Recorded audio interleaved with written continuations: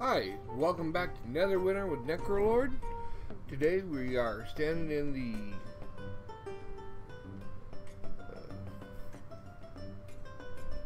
professions place.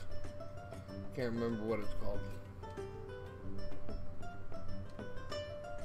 The workshop. Thank you. Today we're standing in the workshop.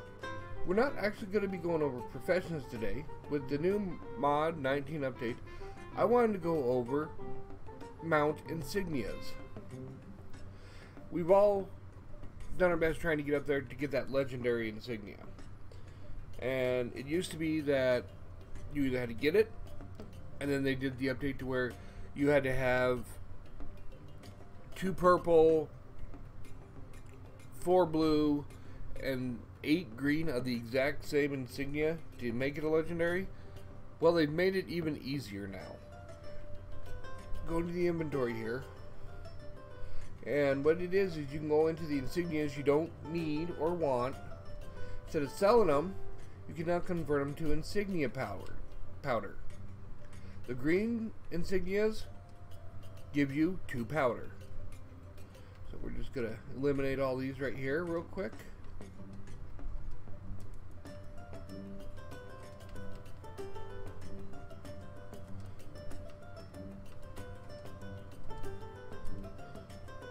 The blue insignias.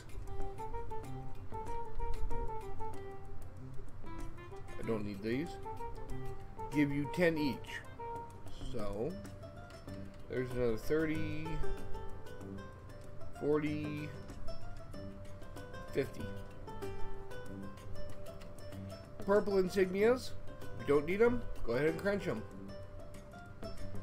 Give you 50.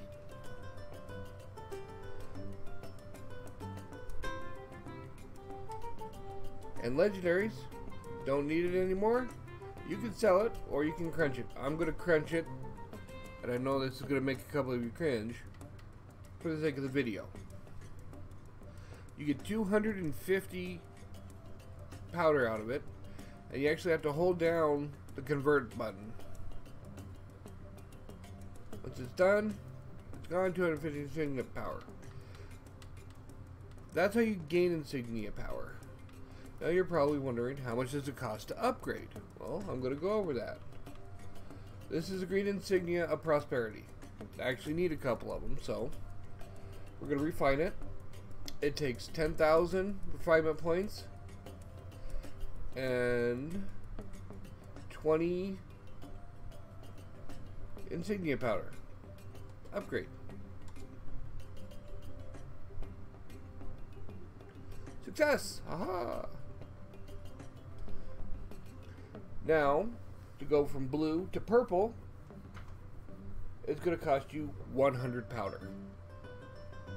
And a 50,000 uh, refinement points. Not a problem, as you can see, I have plenty. So let's go ahead and do this upgrade. So that puts it at 120 powder and 60,000 refinement points. So, the next step to go from purple to legendary is you're going to need 500 powder, which brings us to 620 insignia powder and 100,000 refinement points. So that's 160,000 refinement points. It's not really bad at all. Let's go ahead and do that upgrade.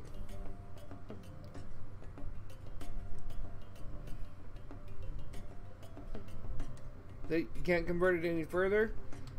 A lot easier. All you need to do is find one of any level of the one you want, and you can refine it all the way to legendary. Break down the ones you don't use. You don't need them anymore.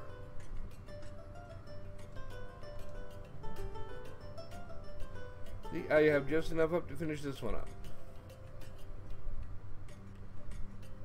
So you're going to be wanting grabbing like skill nodes. Um, Soulmonger's lockboxes give you a box that gives you two or three anywhere from green to legendary ones.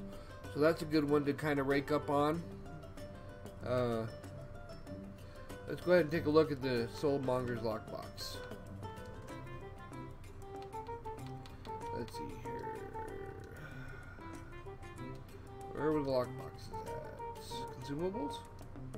Yeah.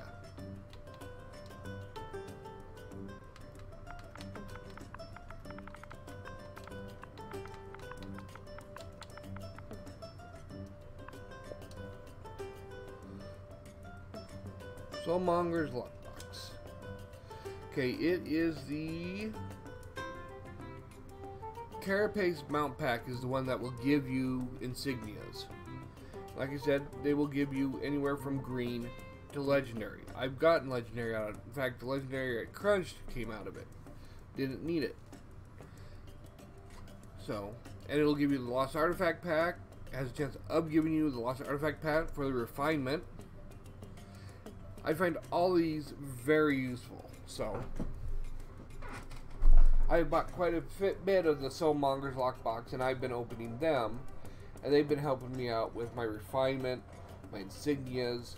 Um, the adventures packs can actually give you uh, Hellstones, and and now it's going to be helping me with my insignias. So, oh, and the profession stuff helps if you're trying to upgrade that work that workhouse. So, it's a really really good lockbox. I like it a lot. So, so there you go. That is the basics of upgrading your insignias. They're not really difficult anymore. You just gotta grind for insignias, get the insignia powder, find the one you want. 160,000 refinement points, 620 insignia powder. Boom, you have a legendary if you find it in green. Each level you find it higher up, it'll be cheaper for you. If you have any questions, leave me a comment, hit that like and subscribe button. And I think uh, one of my guild mates, Imoen, he's going to be doing one of these as well. He might have a few better ideas on it. I'm going to leave a link to his channel in the description so you can hop over and take a look at him. So please, let me know what you think. If you have questions, like I said, leave a comment, like, subscribe. I really want to get out there and help you with this new Neverwinter stuff coming out. Okay. Bye.